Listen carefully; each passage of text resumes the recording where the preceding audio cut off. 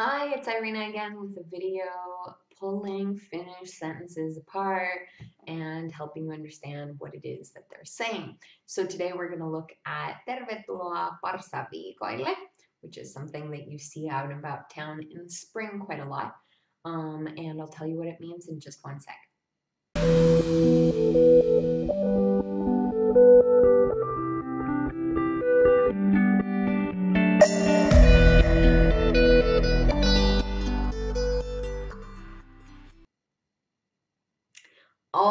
So I love to take these little simple ads that you think, oh yeah, I know what that means, but sometimes we just take a lot of this stuff for granted, okay?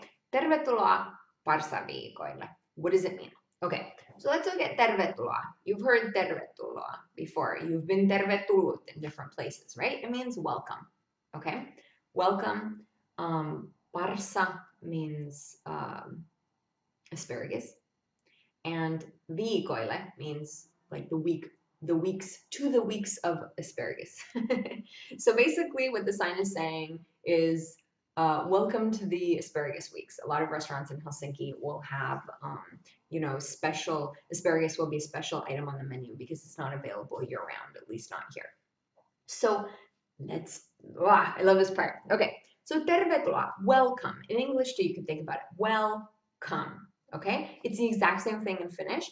Terve is healthy. It also means hello, right? Tulo is, um, well, tulla is to come, and tulo is like arrive um, or arrival, right? So it's a healthy arrival. And in the previous video, we went over how when we wish someone something, we use the partitive case. So, and we add an A at the end. So that's why tervetu uh, sorry, tervetuloa is welcome and it's a wish, right? It's not just welcome. It's welcome. It's a wish, okay? So now taking a look at parsaviikoille. Ooh, the good stuff. So parsa means asparagus. Um, it's also my husband's nickname, has been since high school. I don't know why. Um, but in addition to that, so viikoille. In the previous video, if you haven't caught it, there's a bunch of stuff that relates to this one, so make sure to go back and check that one out. Um, I talked about the plural, right? So here we have viikoille. Now you can look at the very end and recognize LLE usually means to. So in this case, it's welcome to the asparagus weeks, right? This is not just one asparagus weeks. There are multiple asparagus weeks, okay? So the to is that LL E. And then the I there is a marker that tells us there's more than one week. This is plural. Okay?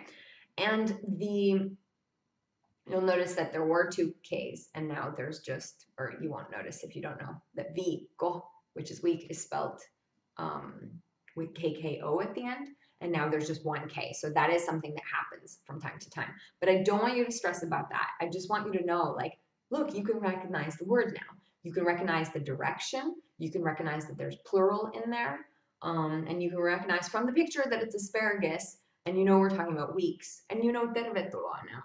So just by starting to observe how these things pop up, how that plural marker shows up, how it's used with different cases, you can really start to build a rather um, broad amount of experiences just by looking at the five ads that we've looked at or the six ads or signs that we've looked at over the past couple videos. So if you haven't watched all the videos, make sure to go back, look at them all. And even the tiniest of words or signs can be a really good lesson to help you understand like, why is it like this? Or if it's like this in this case, and you'll start to make connections, right?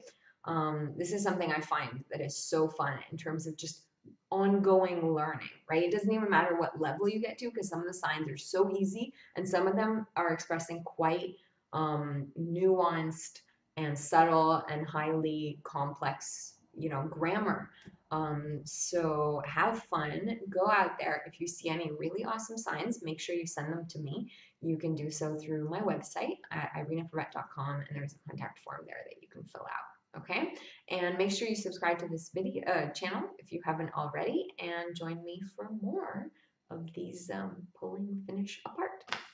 All right, I'll see you next time. Bye.